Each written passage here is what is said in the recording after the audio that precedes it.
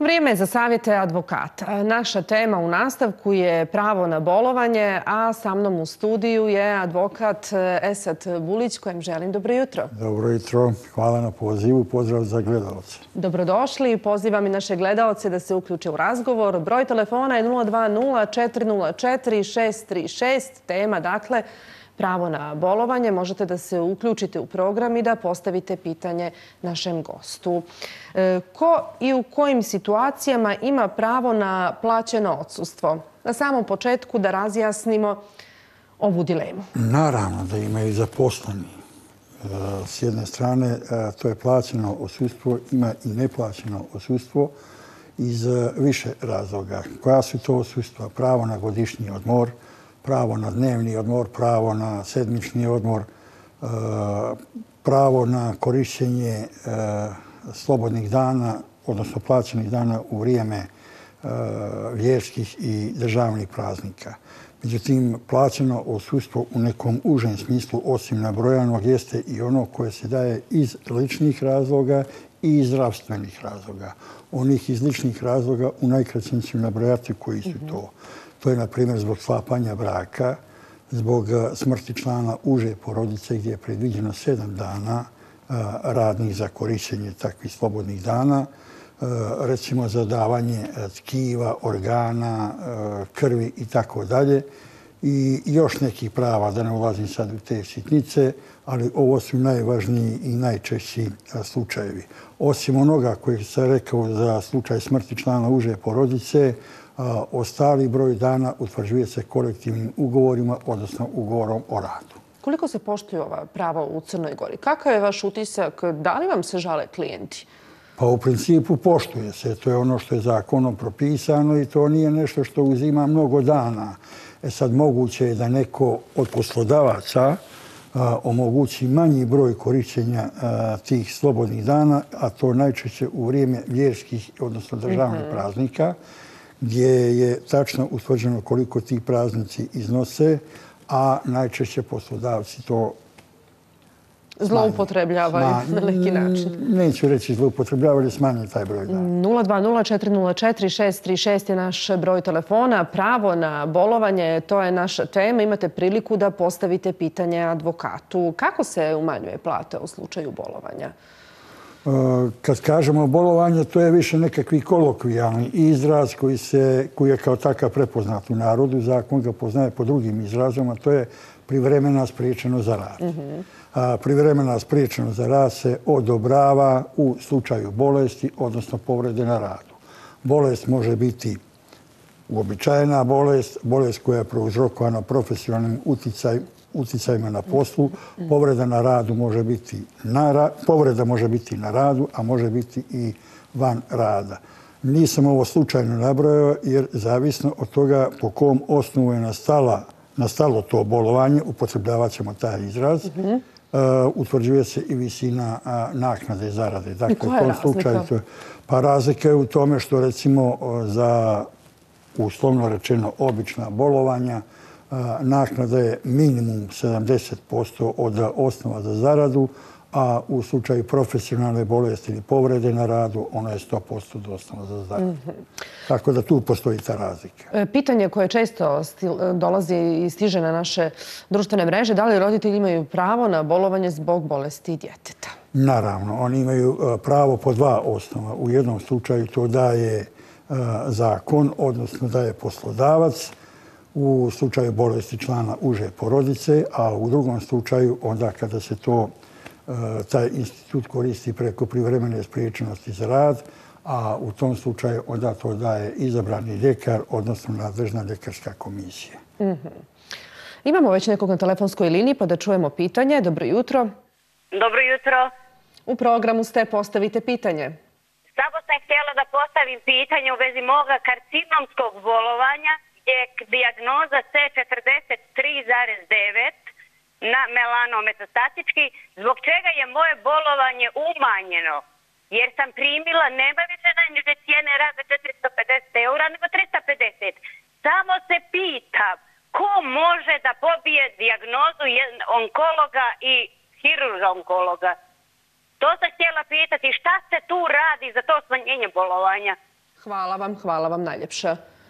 Ukoliko je radnik e, nezadovoljan, šta da radi, a na Na neki način gospođa je dala polu odgovor u smislu da postoji spisak tih bolesti koja se, koje se imaju smatrati težim bolestima. Ukoliko se njena bolesta ovako laički, pošto nismo medicinski slučaj, e, stručnjaci, e, to je bolest koja ukazuje na težu prirodu bolesti i ona po tom kriterijumu bi trebala biti bolest koja se na naplaćuje 100%. No, da ja ne bih e, ipak nagađao, a treba vidjeti koji je to spisak. Konkretan odgovor e, bi bio da se obrati nadležnom organu, odnosno u fondu zdravstva, da vidi da li je ta bolest e, karakterisana kao teža bolest i shodno tome poslodavac bi bio dužan, ukoliko se tvrdi da jeste, da isplaćuje naknadu u visini od 100%. Dakle, iz 100% fonda zdravstva traži potvrdu je. o tome je li ta bolest Tako na listi tako je. teških ili ne. Tako je. E, imamo još nekog na telefonskoj liniji. Dobro jutro. Dobro jutro. Postavite pitanje, u programu ste. E, interesuje me, zapošljen sam u Budvi, privremeno sam nastanjen tu. Da li imam pravo da koristim bolovanje ako mi doktor odobri u drugom gradu gdje imam svoju kuću? Ovdje sam kao podstanar. Samo me to interesuje. Hvala vam puno. Rekao sam koji su osnovi za bolovanje. To je bolest e, i povreda na radu ili e, van rada. A, Bolovanje, iako ta riječ implicira da e, se boluje, ne mora da podrazumijeva i ležanje u krevetu. Ajde da to pojednostavim do kraja. Dakle, konkretan odgovor bi bio e, da zavisno od prirode bolesti, bolovanje se može koristiti naravno i van mjesta rada i tu to zakon ničime ne ograničava. A ono što je bitno jeste da to bolovanje nije zloupotrijebljeno, što je opet novi zakon o radu i tekako na neki način sprečava takve mogućnosti mnogo više u odnosu na prethodni zakon iz 2008. godine. E, Da li se može ostvariti pravo na bolovanje u slučaju da moramo pružiti njegu supružniku? Da, da, da, rekao sam u, u malo Dakle, ne odnosi se samo na djecu, već i na, i na, i na supružnika. Tako je, na članove uže familije. I tu mogu apsolutno da ponovim onaj isti odgovor koji sam rekao za dijete, s tim što imamo razliku za osobe ispod 15 godina i osobe iznad e, 15 godina u smislu dužine odobrenja takvog bolovanja. Šta je sa ostalim članovima šire porodice koji nijesu u stanju da brinu sami o sebi, bolesni su? Da li onda imamo pravo na bolovanje uz adekvatnu medicinsku dokumentaciju? Zakon je ograničio na članove uže porodice da se njima može odobriti e, plaćeno odsutstvo po osnovu privremene spriječenosti za rad. Tako da u tom. To je to. slučaju tako je. Imamo još nekog na telefonskoj liniji. Dobro jutro. Dobro jutro. Izvolite. A, Naređeno mi je da radim po 16 sati dnevno. Da li je to po zakonu i kakva su moja prava? Hvala vam mnogo. Ja sad ne znam koja je priroda vašega posla, ali u principu i prekovremeni rad je vremenski ograničen a, kako na nedjeljnom nivou, tako na mjesečnom nivou. Tako da morate obratiti pažnju na to. Ono što implicira jeste da li je to a, češći slučaj ili je to neka varedna situacija koja će se vremenom koja će vremenom prestati. Ukoliko je te česti slučaj, onda poslodavac nema pravo mimo onoga ograničenog fundusa sati da vas a, natjera na prekovremene sate. Imaju li žene koje su zaposlene na određeno vrijeme pravo na plaćeno odsustvo u slučaju trudnoće? Naravno, to je jedan od osnova, znači privremene spriječenosti za rad. Tu država, osim očuvanja zdrava, e, zdravlja, država, odnosno zakonodavac, ima i jedan drugi interes. E, ima pravo koje je na određeno vrijeme, s tim što osim ovih opštih stvari koje sam rekao, ima još jedna privilegija po znacima navoda, a to je da ukoliko je na određeno vrijeme takav radni odnos ne može e, se produžava za onoliko vremena e, koliko je žena bila odsutna zbog održavanja trudnoće, odnosno porođaja. E sad, e, koliko su prema vašim saznanjima e, česta neosnovana e, bolovanja, odnosno raznorazne zloupotrebe? Eto, malo čas ste pričali i o tome Šta govore vaši podaci sa terena? Pa dobro, nije to samo moji podaci, to su opšte poznati podaci. Ima tih zloupotreba, ima neosnovanih bolovanja, ona su najčešće sezonske prirode i tako dalje i tako dalje. Međutim, rekao sam malo prije da zakon na neki način ipak ograničava broj tih e, zloupotreba. Na koji način, ako dozvoljava vrijeme, ja ću to mhm. pojasniti. Uveden je novi institut, a to je da zaposleni kojem je odobreno bolovanje e, je dužan, odnosno njegov ljekar je dužan da mu izda potvrdu e, o bolovanju koju je on dužan lično ili ukoliko to nije u mogućnosti neko od onih koje on u vlasti da preda poslodavcu. Poslodavac može u roku od tri dana da podnese prigovor ukoliko smatra da je to bolovanje neosnovano, odnosno da je zloupotrijebljeno.